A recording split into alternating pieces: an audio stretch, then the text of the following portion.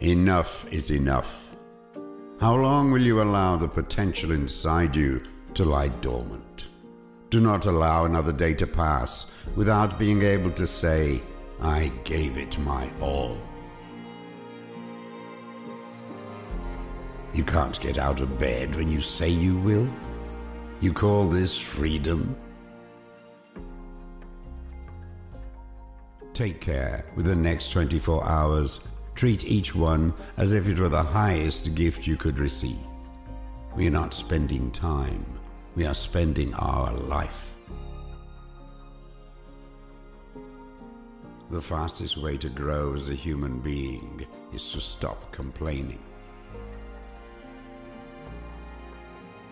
The more difficult an undertaking, the greater rewards you will reap from doing it. Just focus on today, handle what is in front of you, and watch your anxiety dissipate. Tomorrow's troubles are not yet your concern. To go on living like everyone else, what is the point? Life is but the flicker of a light in an eternity of darkness. Use it up while you still can. Be extraordinary.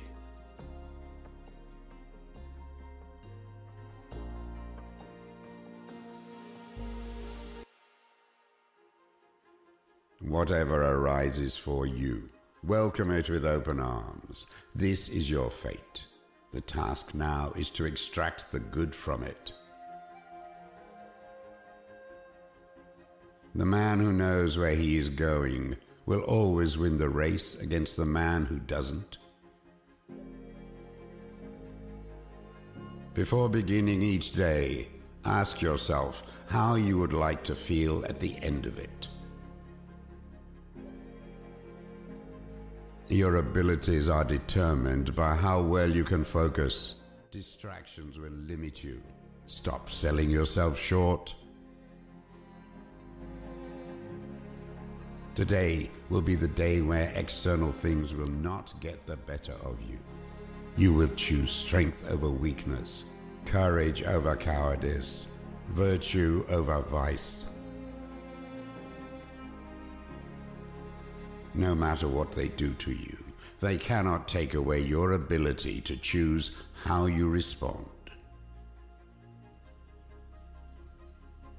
Without challenges, how would we get better? How could we ever discover the strength of which we are truly capable? If you are fighting through difficulties, it means a hero is being born.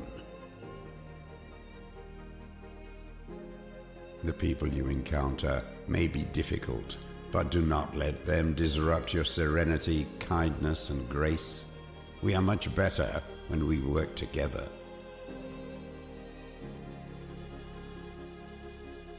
Time is fleeting.